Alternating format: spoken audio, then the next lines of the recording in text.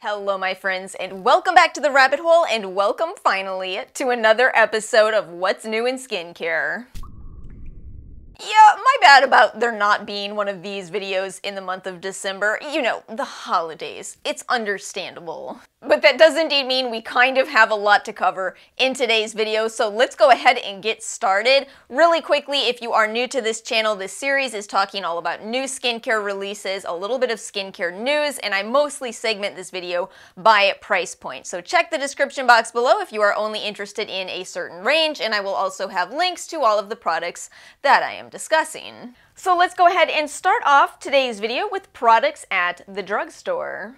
You probably saw this if you follow me on Instagram, but I did buy actually the three-piece kit here, or set rather, of the new e.l.f. Pure Skin line. This is really an intriguing line to me. First of all, the whole thing for me, my entire e.l.f. order was $24. They have a 20% off if you buy three skincare items promotion going on right now, so I figured why not? Sounds like the perfect products for me. They're all fragrance free, they're all dermatologist developed, they say, and with oat milk, allantoin, and niacinamide. Basically, they looked perfect for sensitive skin. I have a little bit more of a sensitive skin type myself, and I've loved so many of e.l.f. skincare products. So I'm not going to say too much more at this point as I'm doing a full trial with these. It will now be a three-week trial. So I will have that posted not this upcoming Monday, but the Monday after. Please don't hold it to me if one of these products doesn't work out for me. Uh, at the moment, I'm continuing to test two products. I will come back to the one that I'm unsure of, and uh, you know, hopefully, I can give a, a, thorough review. That's certainly my point in doing the extended trials, is to give a very thorough review, and you know, ultimately Nothing works for everyone. Nothing. But at this point, it's a little too early for me to tell you, so we'll just save all of that. Then we have from The Ordinary their new salicylic acid 2%. Okay, listen, at least some of you have to be saying, wait a minute, didn't The Ordinary just release the 2% salicylic acid?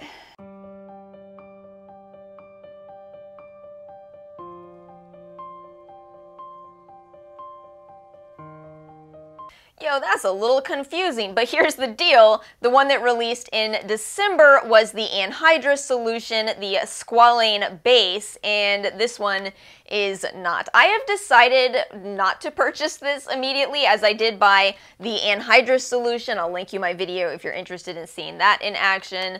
Uh, so I'm, uh, yeah, I don't see a reason to immediately run out and purchase this. And I think the interesting thing is I've seen a lot of other people say the same thing. I've seen a lot of people say, uh, you know, that's really nice. I liked the old The Ordinary salicylic acid from years ago, but I've, I've found other products. It's interesting to see so many people say that because that is my experience too. I have so many other options at this point, whereas I too was devastated when The Ordinary originally discontinued this product. But uh, yeah, it's finally back after making us wait for actually years, years you know, if you have acne, you can't go that long without a product that really works as a treatment for you. So it's just really interesting. And also, for the record, I do like the anhydrous version, but maybe that's because I have a more dry skin type. Let's talk about Flower Beauty's new release next. Oh man, yeah, this is actually a video about skincare. I promise this is not a makeup video. So, Flower Beauty has released their Fight the Light Blue Light Protection Mist. Oh, Drew. Drew, I love you so much. I really do. I love Flower Beauty so much. Uh, but this is really interesting to me. I feel like this is what happens when a brand that is primarily focused on makeup tries to do skincare also.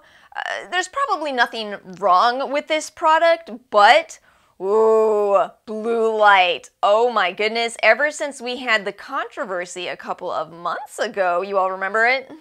I have not seen any of the skincare first brands promoting blue light protection. How fascinating. This was such a big thing in the skincare circles, and yet uh, I don't really think it extended into the makeup world, and why would it?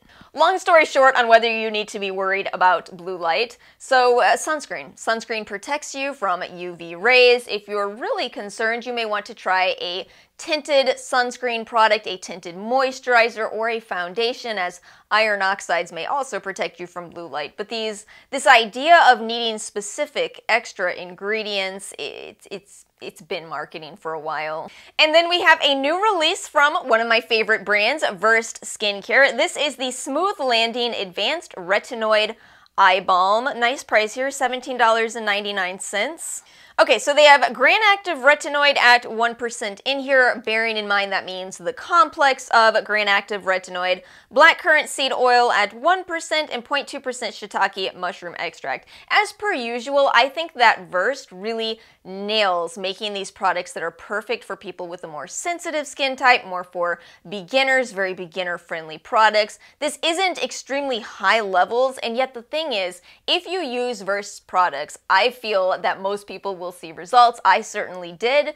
And I think it's, it's a great thing that they are disclosing these low percentages as it can help people to figure out, oh, you know, maybe I don't need these incredibly high levels of these ingredients to see results. It also is really interesting to see HPR in an eye cream or an eye balm in this case. You don't see that every day. It's typically it's typically retinol or sometimes the retinol derivatives. I also really want to grab this one. The first ingredient is shea butter, which is exactly what you would expect in a balm product. So I bet it, oh, I bet it feels wonderful on dry eyes. Ugh, $17.99. Gotta love Versed. While we're on the Versed website and actually moving into the next chapter, which is body products, let's talk about this very interesting release the Firm Ground Retinol Body Lotion, how intriguing. I haven't yet seen a company actually come out with a retinol product that is made for the body, so this is very interesting.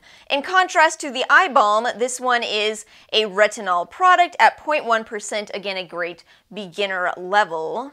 Oh, wait, no, oh, sorry. Oh, I caught myself there. That is actually a retinol blend. So this is going to be quite a low level of retinol, but again, you probably haven't been using retinol all over your body. Maybe some of you have, but I haven't, so I think that is a good starting level there. We have cocoa butter, squalane, and vitamin E.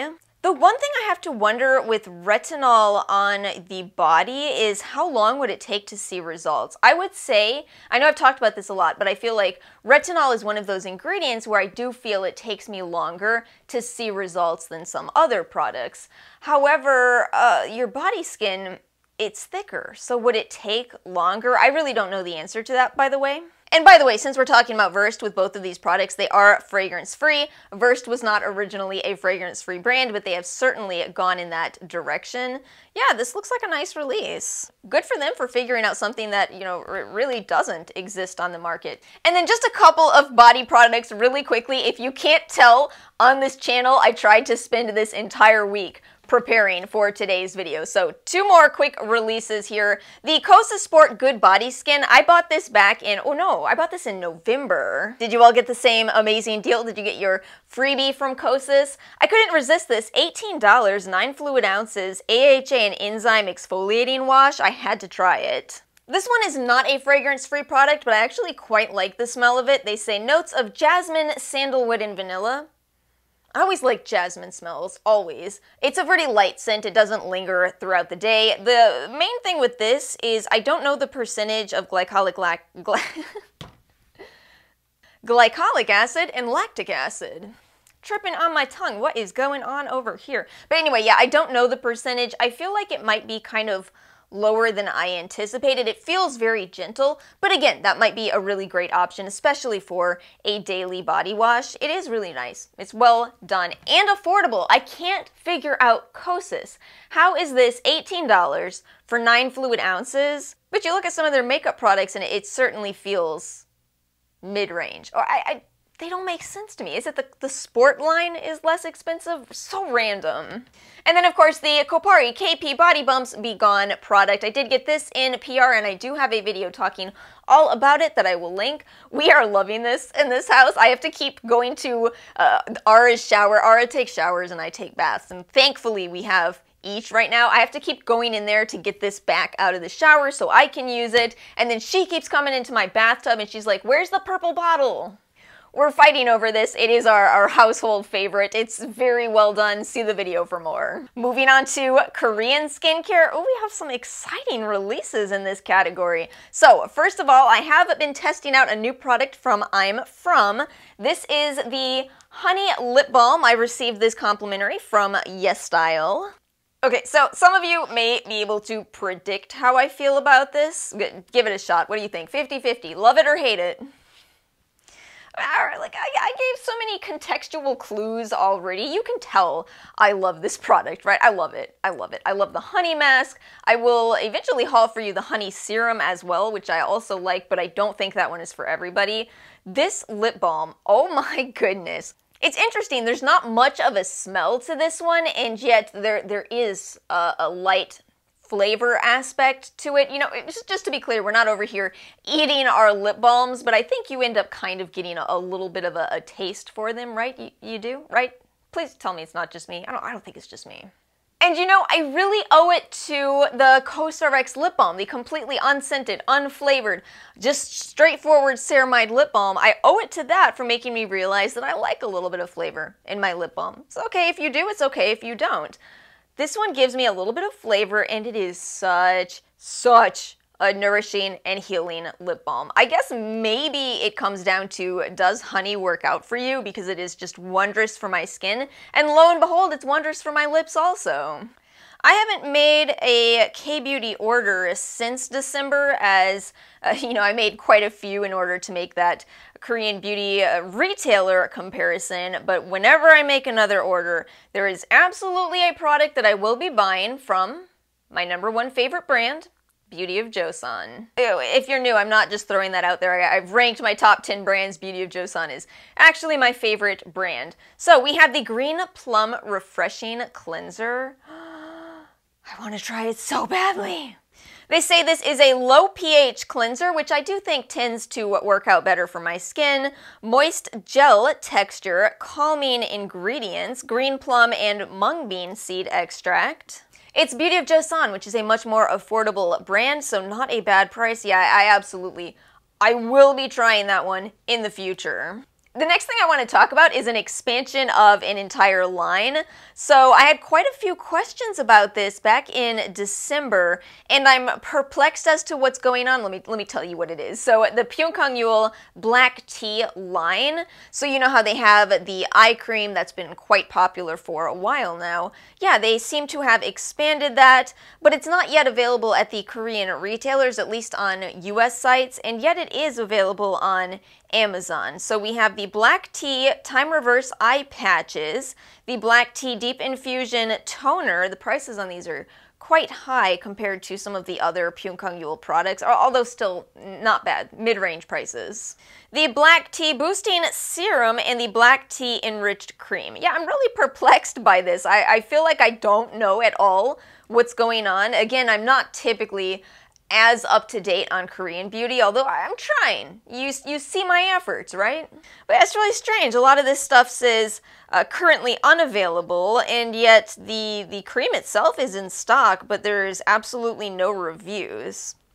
I don't know. Let me know if you know more about this product line. I would definitely be interested in trying it though, because if nothing else, even though I just said it's expensive for Pyunkang Yul, is this going to be alternatives to the fresh black tea line? Because the fresh line is a lot more expensive. So I guess on that one, your questions are the same as mine. I don't have any added insider information on what's going on there. But we also do have one more new release from, well, actually two more new releases from Purito. These are brand new. They released this week. We have both the Hydrop Sweet Gel Mask and the Bentolin Pore Clay Mask. So these are both up on the YesStyle website as of now. Uh, looks like they're almost sold out too, which I'm not surprised. Purito is such a popular brand. So let's just talk about these two masks individually. First up, we have the Hydrop Sweet Gel Mask, which looks like it has quite an interesting texture. But again, I've already talked to you about how I love honey. This is a 15 minute mask that has PHA in the form of gluconolactone in it, as well as some humectant and emollient ingredients.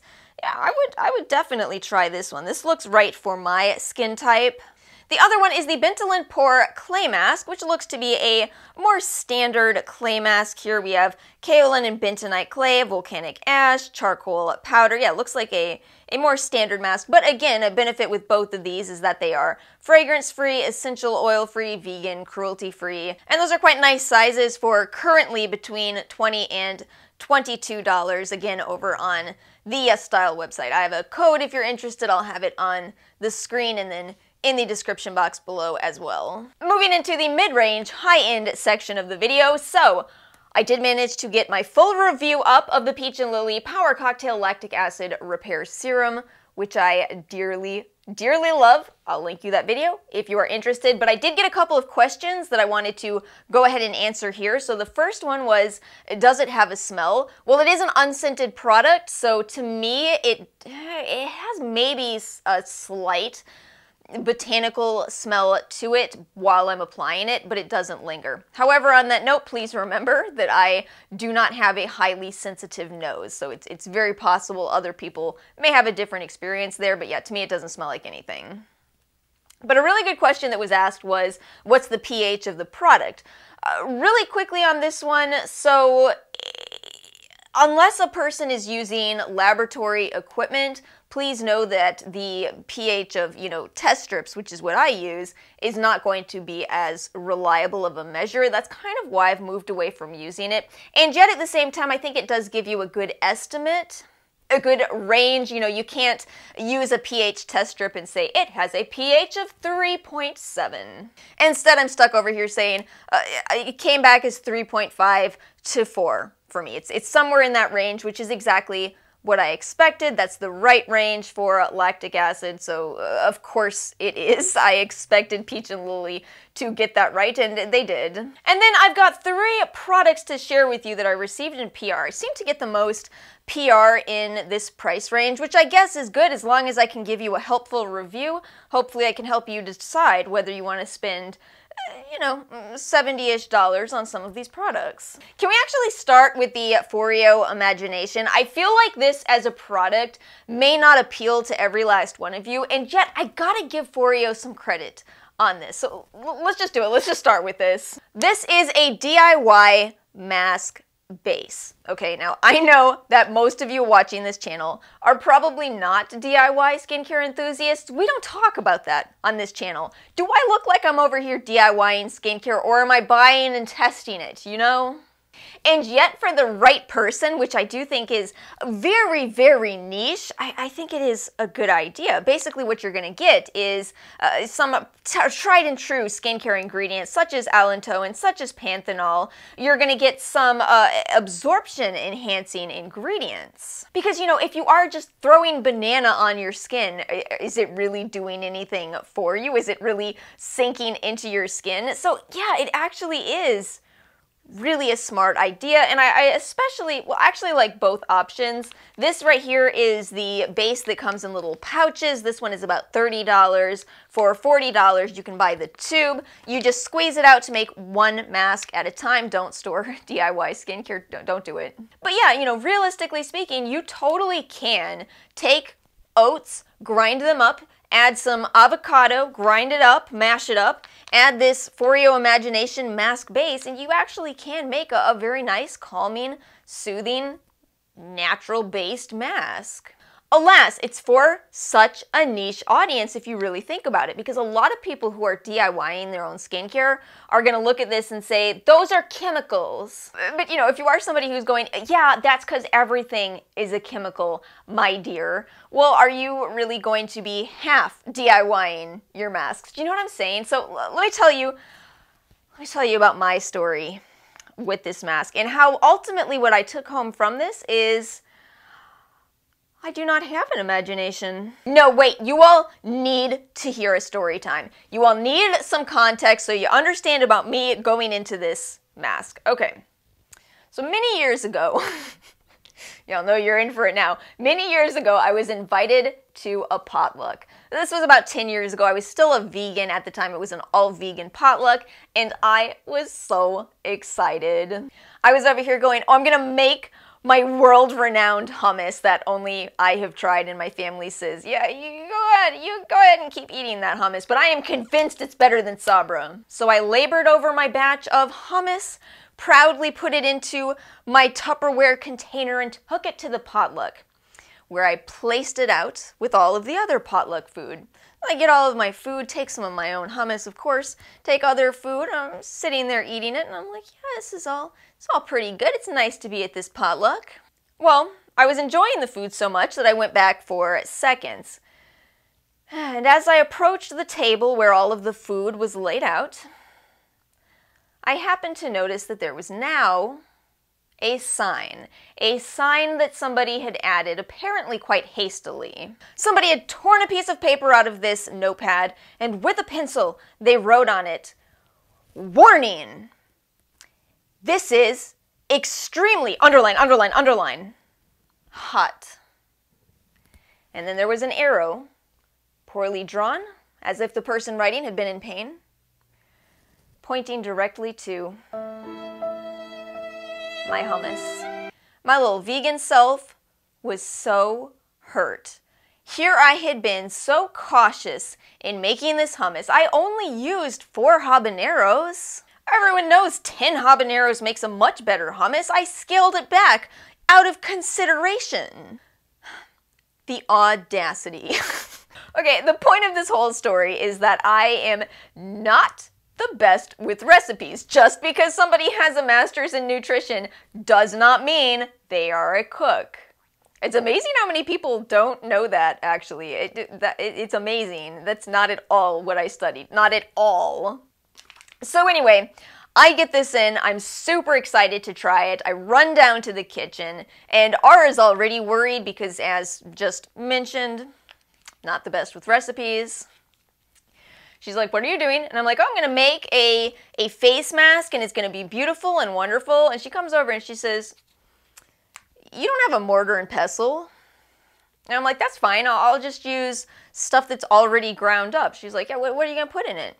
Okay, admittedly, without a mortar and pestle, this is maybe a little bit more difficult. So I open the cupboards and I go, oh my gosh, I've got honey. I, I love I love honey. I'm gonna put honey in this. My sweetheart is already going, okay, this is probably not gonna end well. And as I continue to look through the cupboard, I find a bottle of fish oil. Uh, what a rich source of fatty acids. What could possibly go wrong? Fish oil, honey, and the mask base. Perfect! Ara had a pep talk with me and she did talk me out of that idea. I still managed to make a, a, terrible recipe though because in place of the fish oil, I decided to go for a nut butter let me tell you honestly, my uh, DIY mask was not the most fun thing to remove that I've ever tried. my own reptiles were giving me strange looks. So this story is all to tell you, it's a good idea, in theory. I think that what Foreo should do is make sure to include some sample recipes. Wouldn't you think they would do that? They have this Recipes of My Foreo Imagination booklet, which I uh, tore into so much that I, I ripped it somewhere, but they're all, they're all blank. It's all blank. You're supposed to write your own ideas on here because you have a good imagination and you are better with recipes than I am. So anyway, I saw on the website that their uh, their upcoming extension of the Foreo imagination is they're going to have this box set that includes a mortar and pestle, which is a must, and it's going to have a recipe booklet. I, I think that that's the only way to go. I mean, unless you are already, you know, well versed in cooking and, and, and whatnot. You want some of my hummus? So Tatcha sent me some PR, although it may be the last time. I'm just kidding. I actually, I actually have good things to say about this overall. This is the Tatcha Texture Tonic. This was released in, I believe, December. Uh, so it is a good idea, I would say. It's a $59 product, which for Tatcha not too bad. Basically what it is, is a blend of fruit AHA, some niacinamide, some mugwort.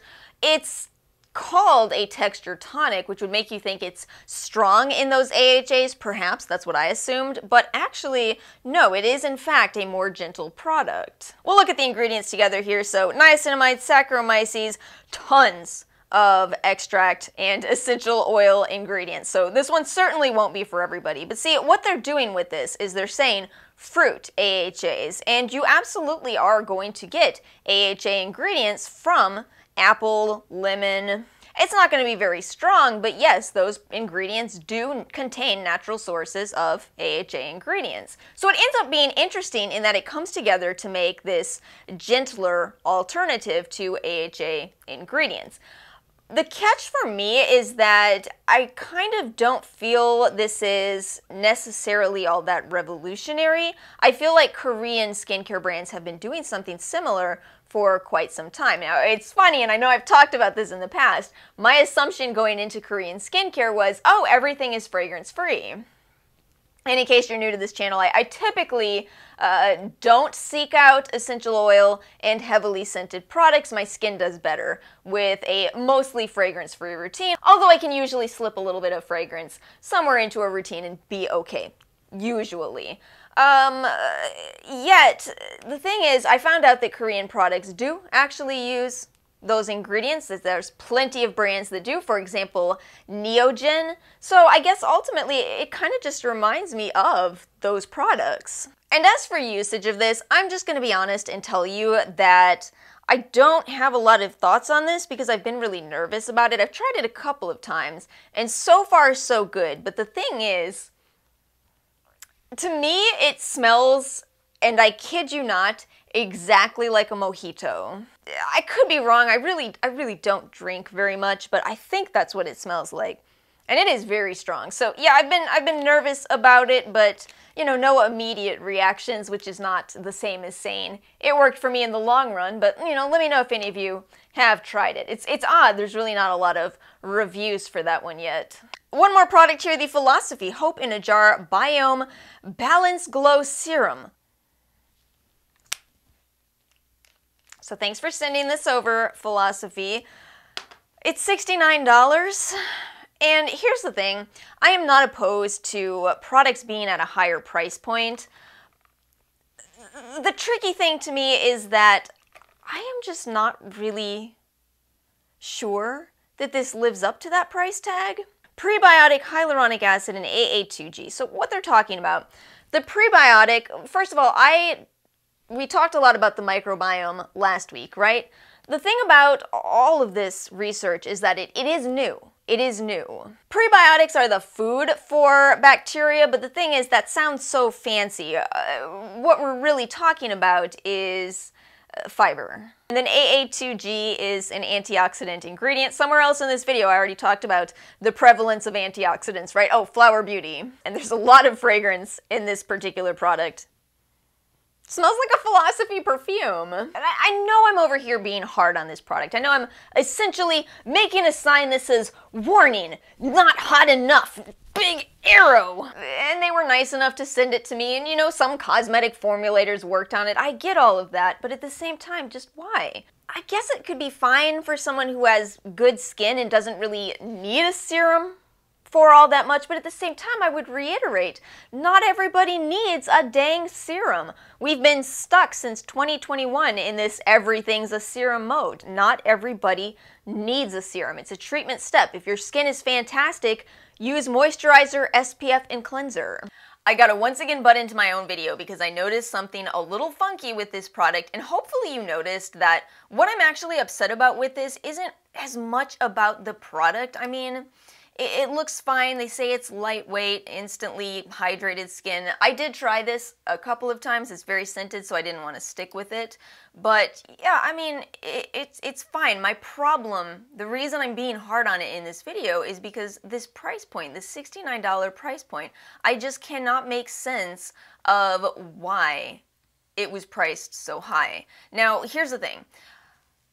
$69 is out of stock on Sephora. Look at this. Look over here on the Ulta website. 45. This is the same product. So at this point, I'm finding myself thinking, did Sephora make a mistake? Is that why it's out of stock on the Sephora website? Let me just be honest with you. You know, I've done this for so long. I'm so used to uh, seeing price points, and m- my issue that I was having with this is it just did not make sense to me at a $69 price tag. At 45 and it's Ulta, you know they'll have some kind of 50% off 22.50. Yeah, I mean, it's fine for people who like a lot of scent and a little bit of glow. But if this is all a mistake on Sephora's behalf, then I apologize too. I will tell you, if you did happen to purchase this at this price point, I would contact Sephora. I, I genuinely think this is a mistake on their website. I wanted to talk about the Glow Recipe Plum Plump Hyaluronic Acid Moisturizer because of course I did. Have you met me? I love so much what they've done here. So it's a refill system. $39 buys you the bottle, which is apparently a nice glass bottle, 33 for the refill. That's an amazing price point. You know, every other company that's done these refill systems has been pretty expensive. I shouldn't say every company because uh, Versed does have the refill systems and they're quite affordable, but most of the time it seems these are more expensive. Tata Harper, um, oh gosh, what's what's their name? I own their products. Cora. There it is. My brain was delivering one letter at a time there. Anyway, this looks nice. Uh, I think that, you know, Glow Recipe is a brand. It doesn't work for everybody. It is a brand that has some amount of fragrance. Although I will say, I think more people did well with the Plum Plump serum. Now, I decided not to buy this just yet, although I almost did, but I decided to wait because I noticed the reviews were saying, in spite of saying hyaluronic cream, they say it is more of a gel type of product. Another one that I've been asked quite a bit about is the Biossance Squalane and Copper Peptide Rapid Plumping Serum. Okay, so since I get so many questions about copper peptide, yo, I want to make a video about this and tell you what results I see from copper peptide. The problem, though, the holdup, the reason I haven't done it yet is because I'm not sure I see any results. It's tricky though. It's one of few peptides where you do have to be careful what you're combining it with, or at least hypothetically you do. So I'm really trying to get through uh, my the ordinary bottle first. But again, you know, that's tricky to say, oh, well, uh, if the ordinary product works, then all copper peptide products work. That's a, a bit of a limiting perspective too. So I, I will say I've heard quite a bit of good things about this serum. I believe this one released in December. You got your blue color, so it looks like it will be a pretty decent amount of copper peptide, which, by the way, is typically only, only 1%. We have some other peptides. We have green tea, turmeric, other antioxidant-rich ingredients. Yeah, no, no fragrance, no essential oil. It just is uh, $68. But hey, 68 for 1.7 fluid ounces, which is nice, and at least I do understand why it's that price point, you know? And my final product to end this video on is actually a truly brilliant idea, at least I think so. This is a brand new release from